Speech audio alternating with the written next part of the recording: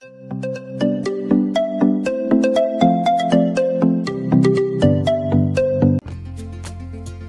Nel match valido per l'undicesima giornata di Serie A Zaleschi commette un errore in mezzo al campo, in disimpegno sbaglia un passaggio che consegna la sfera all'attaccante del Verona che si invola verso la porta giallorossa. Svilara si accorge subito dell'errore del suo compagno di squadra e cerca di rimediare. L'estremo difensore esce dall'area piccola nel tentativo di chiudere lo specchio all'attaccante del Verona, che però è freddo e lo supera con un tocco morbido. Sfortunato Zaleschi, che prima di commettere l'errore che ha dato il via al contropiede del Verona si era vista annullare anche un gol. La Roma a testa bassa ha cercato subito di riportare il risultato in parità. Qualche minuto più tardi Sule ha dato un assaggio della sua classe. L'attaccante giallorosso è riuscito infatti a trovare il gol del pareggio, siglando così la sua prima rete con la maglia della Roma. Qualche minuto più tardi però il Verona è riuscito a trovare il gol del 2-1, prima di venire riacciuffata dal gol di Dovvik, che ha riportato nuovamente i risultati in parità. A pochi minuti dal triplice rischio finale, il Verona è passato nuovamente in vantaggio, con una pennellata di Arrui che ha di fatto chiuso la partita.